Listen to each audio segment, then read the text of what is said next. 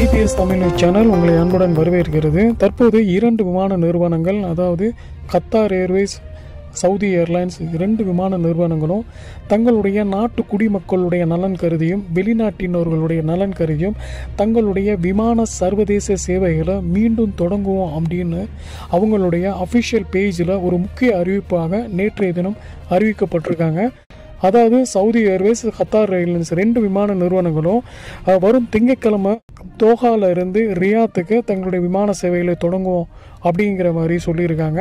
அதே மாதிரி வரும் பதினாலாம் தேதியிலிருந்து ஜித்தாவிற்கும் ஜனவரி பதினாறாம் தேதி தமாம் தமாமிற்கும் அவங்களுடைய விமான சேவையை ரெகுலராக தொடங்குவோம் அப்படிங்கிற மாதிரி ஒரு விஷயம் சொல்லியிருக்காங்க. சவுதி அரேபியாவில் விமான சேவைகள் ஒரு பக்கம் தடப்பட்டு வரும் அப்படின்ற மாதிரி ஒரு செய்திகள் ஒரு பக்கம் வந்திருந்தாலும் மார்ச் முப்பத்தி ஒன்று வரை இயல்பான விமான சேவைகள் தான் தடை அப்படிங்கிற மாதிரி ஒரு விஷயம் அறிவிச்சிருக்காங்க.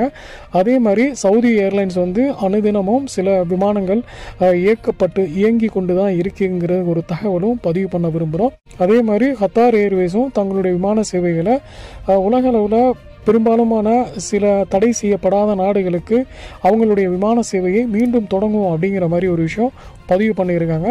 ஸோ இந்த செய்திகள் வந்து உங்களுக்கு பயனுள்ளதாக இருந்துச்சு அப்படின்னா தொடர்ந்து பாருங்கள் வேறு ஏதாவது ஒரு நல்ல செய்தி கிடச்சிச்சுன்னா உடனடியாக எங்கள் சேனலில் பதிவு பண்ணுவோம். நன்றி.